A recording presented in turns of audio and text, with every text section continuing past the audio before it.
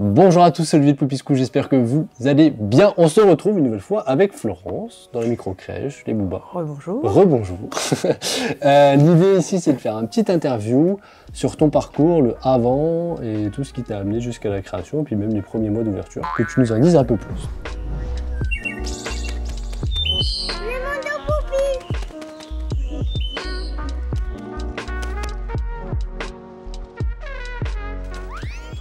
Est-ce que tu peux commencer tout simplement par te présenter et présenter ton parcours avant crèche Donc moi c'est Florence, donc euh, directrice coup la micro-crèche Les Boubas. Mon parcours avant crèche, j'étais euh, formatrice en premier secours, en animateur euh, de prévention à la Croix-Rouge française. donc on est quand même dans le sanitaire et social, on fait différents parcours de, formation. Après je suis devenue maman de deux petits, donc j'avais déjà une grande et là donc après deux en âge rapproché. Et au moment de vouloir les mettre en structure d'accueil, et eh bah pas de place. Je voulais me reconvertir de façon à ne pas euh, retourner euh, travailler euh, sur la région parisienne, qui a plus de deux heures hein, de transport d'ici. Et c'est là que j'ai trouvé en fait la formation théorique sur monter sa micro-crèche, créer sa micro-crèche. J'avais envie de tenter. Les différents aspects que j'avais qui me freinaient un petit peu voilà, ont été levés par la formation. Et du coup, je me suis inscrite sur la formation pratique et c'était parti. Après, c'était parti. Et du coup, est-ce qui t'a mis ça la puce à l'oreille Du coup, c'est de se dire, ok, je veux placer mon enfant dans une structure d'accueil, mais il n'y a pas de place. Mm. Donc une logique qui arrive jusque-là. Tu es toute seule associée du coup dans la structure. Totalement. Et du coup, est-ce que tu peux nous raconter un peu l'histoire du projet Alors du coup, j'ai fait euh, bah, l'étude de besoin. Ce qui, euh, j'ai ciblé euh, cinq villes aux alentours. Et puis après, bah, j'ai commencé à rechercher le local. Et c'est vraiment le local qui a, dit que c'était cette ville-là. Comment tu as trouvé ton local? Avec une agence immobilière. Donc j'avais donné tous les critères. On avait fait quelques visites. Et euh, notamment, je l'avais contacté pour un bien qui n'était pas très loin d'ici, euh, sur une maison, mais qui correspondait pas. Il manquait quelques mètres carrés euh, pour faire ce que je voulais. Donc du coup, dès qu'elle a eu connaissance de ce bien, elle savait que ça rentrait dans mes critères, on l'a visité et puis c'était parti. Donc j'avais déjà pris contact avec les différentes mairies des cinq villes, quand même, que j'avais sélectionnées. Euh, certaines avaient dit euh, qu'ils ne souhaitaient pas avoir la création d'une micro-crèche euh, chez eux. pourquoi? T'ont justifié par... Pour avoir plusieurs assistantes maternelles sur leur secteur, voilà, petite commune, petit village. Pour sécuriser les voilà. asthmates. Ils voulaient rester voilà, sur, sur la séparation de, de, leur population avec leur asthmat. Ensuite, on avait des communes qui n'ont pas répondu. Ça arrive, ok. On a relancé, mais pas, pas de réponse. Et puis du coup, bah, la mairie d'ici qui était pour hein, sur le projet, qui est euh, avec pas mal de constructions euh, sur le secteur, donc qui peut aussi voilà, permettre de rajeunir la population euh, de la ville. avec bah, un service à la personne sur la microcrèche. J'ai contacté du coup en parallèle la PMI qui donc voulait un projet qui était déjà assez avancé avec les différents projets d'accueil pédagogiques. pour donner un avis, il fallait donner beaucoup de documents, comme si c'était l'agrément, quasiment. Presque par le, plan définitif, il fallait voilà, les plans et tout, donc il fallait trouver le, local pour pouvoir le faire. Donc après, bah, je les ai rencontrés. Elles ont fait une étude de euh, pérennité par rapport au secteur. J'ai eu un avis euh, favorable. Donc là, on a vraiment lancé le, projet. Ils sont venus visiter ou pas ta structure euh, Non, parce qu'on n'avait pas encore signé. Une fois qu'on a eu les clés, nous, 1er septembre, elles sont venues visiter parce qu'elles avaient une réunion pas trop loin, donc elles en ont profité pour venir voir avant travaux. Et puis ensuite, elles sont euh, revenues pour la visite d'agrément. Est-ce que tu avais tenté de contacter la CAF pour des possibles subventions Alors elles sont avec, en fait, euh, chez nous, en fait, euh, c'est le double rendez-vous. Donc dès le départ, en fait, j'ai eu le rendez-vous PMI et CAF. Sous quels critères ils ont basé pour donner un avis favorable? C'était financier, c'était besoin, c'était. Alors, j'imagine. Mais... Il y avait ouais, plusieurs aspects. Il y avait le côté besoin, je pense qui était assez important. Après, il y avait le côté où j'avais la gestion, la possibilité de gérer une équipe. Ah, ils estimaient que j'étais capable de. Il y avait euh, donc l'implantation, il y avait le financièrement, euh, c'était viable par rapport euh, donc au prévisionnel que je leur ai donné, par rapport à toute cette stabilité de structure. Ce que tu me disais du coup effectivement, eux ils ont vraiment étudié même le prévisionnel. Oui. Certaines PMI le font, d'autres pas. toi dans ton cas ils ont vraiment étudié, même retravaillé presque. Ils m'ont redemandé de le retravailler à la baisse. Habile transition du coup, si on parle un petit peu des chiffres, est-ce que tu peux nous, toi c'est un achat, combien combien t'as acheté ton local, combien t'en as eu pour de travaux, combien de prêts tu as dû faire euh, Alors du coup, on a fait euh, une enveloppe euh, achat travaux 250 000, donc hors frais de notaire et hors BFR. On l'a ah, fait en nom propre. On l'a acheté en nom propre, donc ça c'est un prêt immobilier, donc 250 000. Et après, du coup, tu avais un autre prêt sur ta société pour le BFR, l'ameublement, etc. Alors, Pas tout à fait. On a fait un montage vraiment euh, ensemble avec l'enveloppe travaux, avec tout ce qui est mobilier, tout au maximum en fait dans, dans cette enveloppe.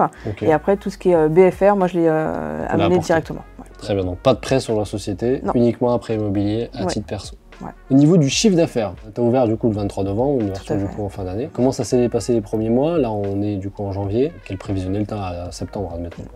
Donc j'avais déjà euh, entre 6 et 7 enfants, euh, enfin 8, euh, parce que tous les jours en fait ça s'inscrivait, enfin jusqu'au jour d'ouverture, on continuait d'inscrire. Donc on a fait euh, 8 adaptations sur les 15 premiers jours. En décembre, on est monté à une dizaine d'enfants, sachant qu'on a pas mal de partiels. Donc on a en tout là 22 contrats. Ouais. Entre voilà, des demi-journées, des journées, des 2 jours semaine, 3 jours, des 5 jours semaine, on en a aussi. On a une grande amplitude horaire, on fait 6h30, euh, 19h D'accord. parce qu'on est à côté de la gare. Donc Ouais. 6h30, il y a ce fameux train de 6h59 qui va à Paris, un tout petit peu avant, qui va à Celui que Reims. tu voulais plus prendre. Quoi. Exactement. tu Voilà. permets aux autres de le prendre, c'est bien. C'est tout à fait. J'ai vu ouais, comment ça se passait et qu'il est très plein. Voilà. Et on, on ouvre à 6h30 quasiment tous les jours parce qu'on a aussi l'hôpital euh, sur Château-Thierry. D'accord. Et du coup, on a des, des personnes qui sont sur l'hôpital à 7h. Donc pour être au travail à 7h, il faut Faut forcément qu'il soit euh, à déposer avant. 6h30 euh, ici. Ouais. Donc euh, aux alentours de 6 000 ouvertures, tu disais aux alentours de Ouais. 14 000 euh, Là, ouais, on est entre 13 et 14. euh, Et si tu vois une prévision, si tu es complète, tu atteindrais combien de chiffre d'affaires à peu près? On irait sur euh, du, du 20 22. Mais Effectivement, c'est l'intérêt d'avoir des contrats partiels qui se cumulent. Ça permet d'aller au-delà des, des moyennes de chiffre d'affaires. C'est ça. Mais après, c'est une sacrée gestion. Euh. C'est l'inconvénient de l'avantage. on en a qui partent à 13h, d'autres qui arrivent à 13h. D'accord. Voilà. T'as des demi-journées qui sont gérées Ouais. comme ça, mais t'as réussi à cumuler quand même avec d'autres contrats, ça Oui. c'est assez cool. Tu sais à peu près le nombre de préinscriptions que t'as eu Donc là t'as 22 contrats. Tu sais sur combien de préinscriptions peu près J'ai dû faire euh, 35 euh, devis, je pense. D'accord, donc ça va, en général ça va. Ça a assez abouti. Ta grille tarifaire, donc tu disais que c'est à l'heure. Oui. Et donc tu vas au plus haut à 10 euros quand c'est du un jour occasionnel, jusqu'à quand tu descends au plus bas? On est à 6,80 sur euh, Sur ta l'heure le, ouais, le plus bas. Après, on a un tarif euh, préférentiel euh, pour les gens qui sont euh, dans certains besoins, comme Ouais. euh, les gens qui seraient euh, bénéficiaires du RSA. D'accord. On a fait un tarif, on avait vu avec la CAF, c'était leur demande d'avoir vraiment un tarif test, quoi, crash euh, vraiment dessus. Mhm. Donc là, on est descendu à 5 euros de l'heure euh, sur, euh, sur de l'occasionnel. Ça reste. Voilà, c'est pour les Ouais, tu peux avoir des contrats long terme, mais pour permettre à des personnes, notamment peut-être d'aller chercher un travail ou des C'est choses ça, comme ça. ouais, une De formation. toute façon, maintenant, il faut euh, l'inclure. euh, Ouais. On doit l'inclure dans les projets, euh, dans les projets pédagogiques, quoi qu'il arrive. Mais ton projet pédag, qu'est-ce que tu mets en avant Des axes pédagogiques dans ta structure euh, on est parti sur la motricité libre au maximum. Après, on est sur le côté rural, donc le petit potager, le petit pou- poulailler, Ouais. maximum dehors. Et après, on va inclure tout ce qui va être yoga, tout ce qui peut être massage bébé. Voilà, sur ce côté vraiment zen, parce qu'on a beaucoup de petits. Et du coup, là, bah, nous, on est arrivé juste avant une formation, enfin juste après une formation portage. Oui.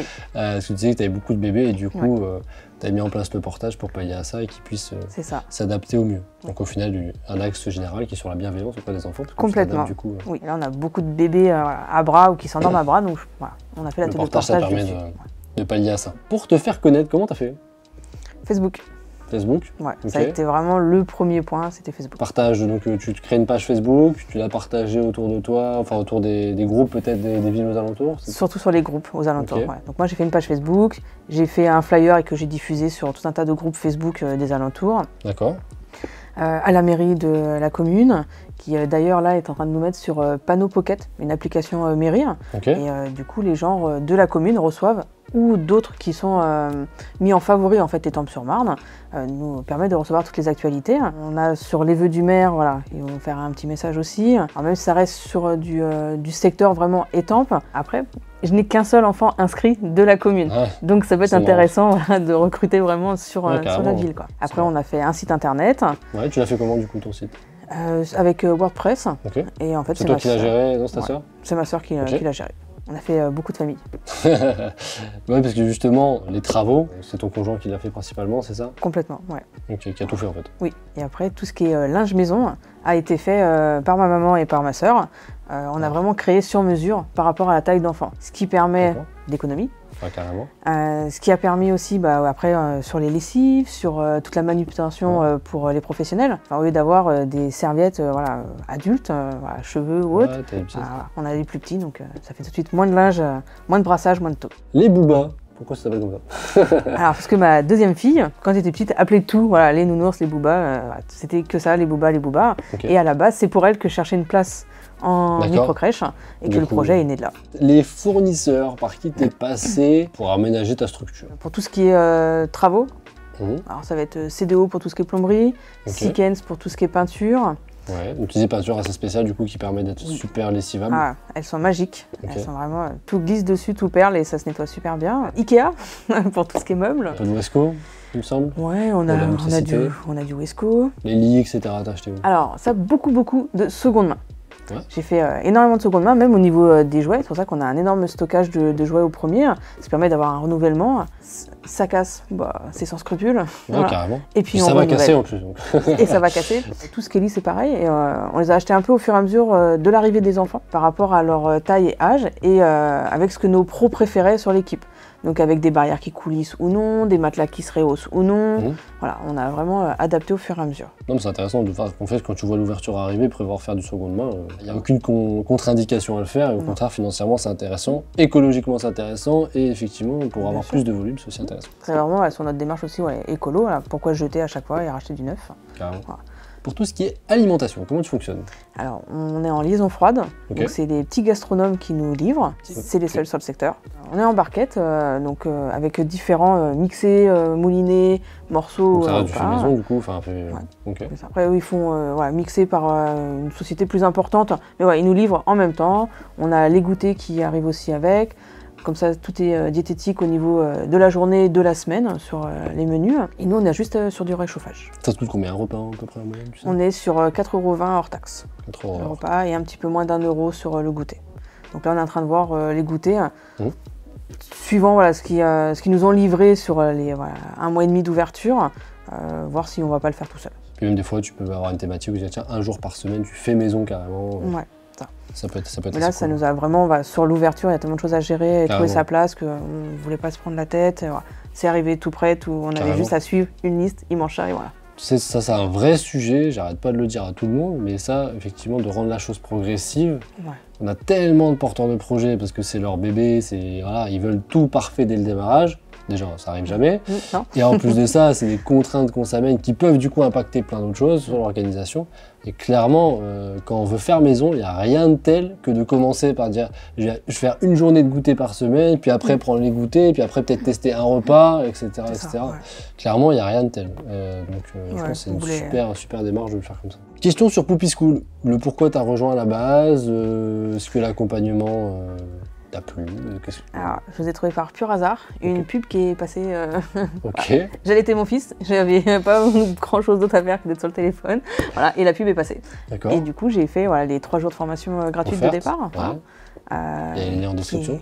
voilà, ok. qui ensuite m'ont amené sur la théorie et sur euh, la pratique. Donc, D'accord. ouais, T'es C'est- passé par le CPF pour financer ta formation complètement. et, euh, et ensuite tu as fait tout le parcours. Est-ce que tu as trouvé ce que tu cherchais dans la formation? Totalement. L'accompagnement, du coup, ça va, ça t'a plu? Parfait. Et tu as Ouais. pu, du coup, rejoindre la communauté, pouvoir échanger avec d'autres et notamment avoir des conseils, notamment sur ça. les goûts. Et du coup, maintenant, c'est assez marrant. Après avoir C'est ouvert, toi qui. ouais, on voit euh, des petits posts. euh, Bon, pour ceux qui ont ouvert, vous pouvez, oui. Je les ai cherchés, ces questions, ou pas trouvé à un moment donné. Et du coup, oui, euh, voilà. C'est- Donc maintenant, c'est l'entraide et c'est toi qui va entraider, qui va aider du coup d'autres porteurs de projets qui sont des étapes où toi t'étais, euh, t'es passé par là. Et puis, euh, Tout à des de petits euh, moments de coup de blues ou de oups. Voilà, enfin, à chaque fois que j'ai envoyé un mail euh, voilà, sur euh, on a reçu euh, le retour. Et puis de voir au fur et à mesure aussi les, les messages voilà, d'encouragement de, de la communauté, en fait, c'était vraiment une aide euh, importante. Maintenant, la suite, c'est quoi La deuxième, La deuxième deuxième coup, tu me micro disais déjà euh, un agent immobilier qui est sur le coup. c'est ça, parce qu'en fait, il y a beaucoup sur le secteur de programmes immobiliers euh, en cours. Bah, tu disais, la 250 au bout du jardin. C'est ça, il y a 250 euh, futurs logements Ouais. euh, pas très loin, Ok. avec boutique euh, en plus de proximité, donc on va pouvoir aussi nous euh, revoir euh, notre projet euh, PEDA, et pourquoi pas euh, pouvoir pour sortir un peu euh, local, ouais. Donc partir sur une deuxième structure parce que ouais. justement ça me fait rebondir sur une question que je n'ai pas posée, c'est comment est structurée ton équipe? Parce que toi t'es pas de la petite enfance, t'es uniquement Ouais. gestionnaire. Et du coup t'as quoi comme euh, dans ton équipe comme type de profil? Alors du coup j'ai euh, une auxiliaire puère avec, euh, qui est RT, avec euh, le soutien d'une euh, éducatrice jeune enfant sur l'année. D'accord, donc 10 heures par an, les suivis, comment ça s'est Ouais. passé ça? C'est intéressant parce que c'est quelque chose qui est assez récent. Sous quelle manière tu as contractualisé avec cette éducatrice? Alors elle nous a fait euh, un devis, puis là du coup un Elle est libérale, contrat. Oui, elle Mhm. travaille en- à mi-temps en microcrèche et en mi-temps elle a fait, euh, elle a monté son cabinet. Qui est en local, hein, qui est pas très loin d'ici, et c'est elle qui m'a contacté pour d'autres choses, pour des ateliers yoga, ce genre de choses Mhm. qu'elle fait euh, aussi. Et du coup, moi j'avais besoin voilà, de, de quelqu'un pour soutenir ma RT. Ok. Donc du coup, elles se sont rencontrées. Et il y a eu un bon euh, courant euh, voilà, entre elles. Donc euh, du coup, Combien temps d'expérience du coup ton Oxy qui est RT Elle a 17 ans d'oxy derrière elle. Bonne Ouais. expérience. Ensuite dans ton équipe, t'as quoi alors? J'ai une deuxième AP à temps plein. D'accord. J'ai une CAP à temps plein aussi. Ensuite, j'ai euh, deux CAP à 26 heures semaine. Sachant que la dernière CAP n'est pas encore arrivée.